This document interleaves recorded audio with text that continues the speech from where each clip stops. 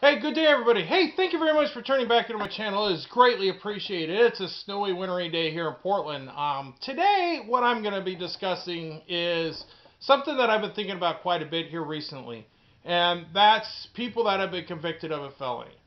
Now, currently, when you get charged with felony, you lose your rights to vote, you lose your rights to carry a firearm. Now, I, I haven't been able to find it, but I have heard that there are some areas, maybe in our country, where you're able to vote one more time after so many years post felon. But I do know for a fact that currently, federally, uh, statewide, when you get charged a felon and get convicted as a felon, you lose your rights to brandish a firearm. I also know that if you receive one of these charges of a felon, then it can make it very difficult and very challenging for you to get um, a job uh, to get your, say, for instance, a cosmetology license, or to, you know, in order to do somebody's hair, or give them a facial. It, it makes it very challenging for them to become a paramedic or an EMT, which, when in turn, make it difficult for them to become a firefighter. So, what I've been thinking about very heavily is how can we get these people to uh, become more engaged in society and potentially get their rights back? And so my thought is is people that convicted of a felony charge that I would consider a lesser charge. That would be like, oh, I don't know, maybe somebody who brandished a firearm, uh, like the guy here in Portland, or got convicted of menacing, um, like the guy here in Portland. In the case I'm referring to, and I can't remember his name right now, but he was downtown Portland a couple years back. Antifa was attacking him. It's clear on the video footage what was taking place. Um, they were attacking him, and he pulled out his firearm out of his holster, put it to his side, and continued to back away. Then turned around and walked off. Eventually, put his gun away, and he carried on. And then ultimately got arrested by uh, the Portland Police Department. After a court case, he ended up being convicted of uh, menacing, a few other charges, ultimately losing his gun rights for the rest of his life and losing his right to vote. And personally, I think that case should not have gone through. He should not have been convicted. But here in the state of Oregon, particularly in the county of Multnomah and the city of Portland, uh, we got a bunch of leftist people who are absolute gun haters. So uh, another, I'm not surprised, let's put it that way, that he ended up getting convicted. I'd love to see the NRA get behind him and appeal this case and maybe get it over, overturned in an appeal. Um, that would put the NRA to some good because lately it doesn't seem like they're out to support gun rights as much as I would like them to do. Uh, they allowed certain things to get on the side of Trump's bump stock ban, and for that to me was the end of the NRA in my opinion. Uh, they NRA in the very past allowed the NFA Act to take place. They didn't didn't oppose it, and so it makes me wonder what the NRA is good for, other than for uh, LaPierre to put more money in his pocket at multiple figures every single year. And let's stop paying these guys such a ridiculous amount with the NRA and actually start using that money to help American citizens get their rights back and get their cases overturned. I'd like to see that take place. Actually stand up and become uncompromising on our gun legislation. But that's a different story for another day. I want to focus on this, and that is I've been thinking about these felons who maybe do a minor incident uh, reckless driving, brandishing a firearm, fishing out of season here in Oregon is a felony charge. These things would all make you lose your rights to bear arms. Maybe child neglect. Uh, I know some cases of child neglect are very harsh and they need to be dealt with very harsh. Um, uh, but there are others that you get charged. Uh, dr- driving drunk, or as Europe calls it, drink driving. Um, that can lead to a felon charge and you losing your gun rights.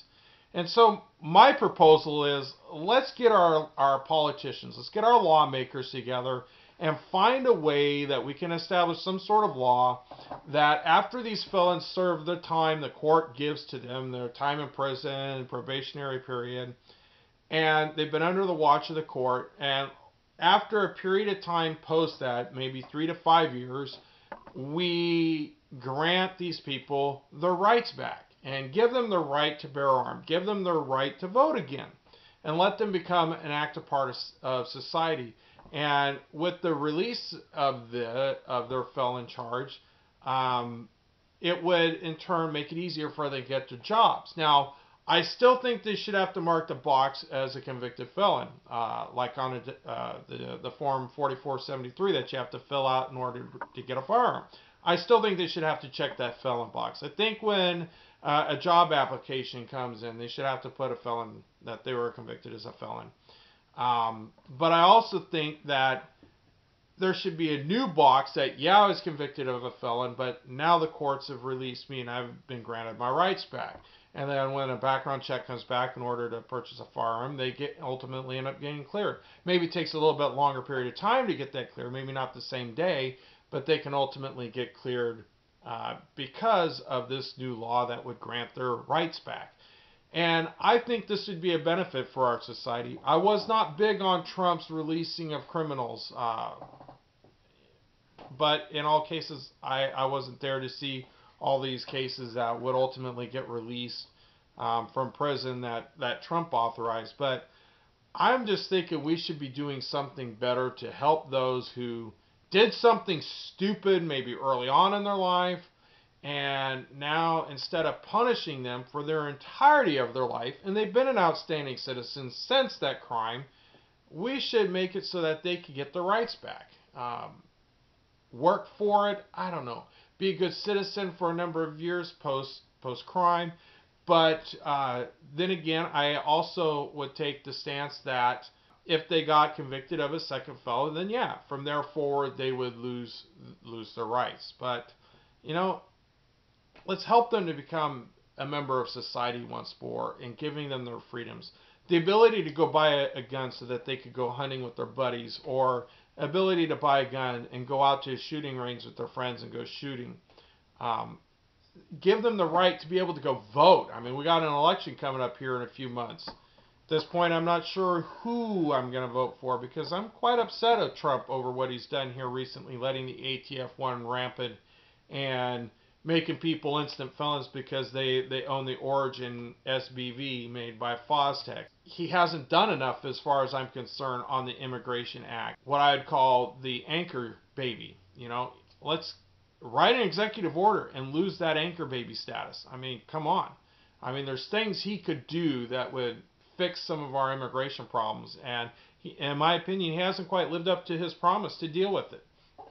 Um, so I just I'm I'm torn on who I'd vote for. But we got an election coming up, and it would be nice to see that felons who are felons many years ago would have that opportunity to come back and start voting again to choose who they would want for a president. Hopefully, it wouldn't be some leftist fruitcake out there that wants to remove more rights and make this war, this country a socialist state. But you know that's my opinion. But anyway, what do you think? What do you think of this proposal? I, I I'm just been trying to think of a way because I've I met n- a number of felons that I never would have known were a felon uh, because they were charged so many years ago, back when they were in their early 20s some were charged with drink driving as a teenager, and now they they're labeled as a felon. I've met some of these people, and they're outstanding. They they're they're they're good people. They work hard, and yet they don't get to be able to carry a firearm. They don't get to vote, and I just think that's wrong. We should be able to get these guys back into society. So. Let me know what you think. Put your comments in the uh, below. Uh, I will I'd love to hear from you if you think this is a good idea. I'd love to hear you if you think this is a bad idea. Give me a thumbs up or a thumbs down. Uh, let me know. Just leave a comment. I'd be I'd love to hear what you have to say about this proposal. So thank you for watching. Uh, I hope you have a great day and God bless.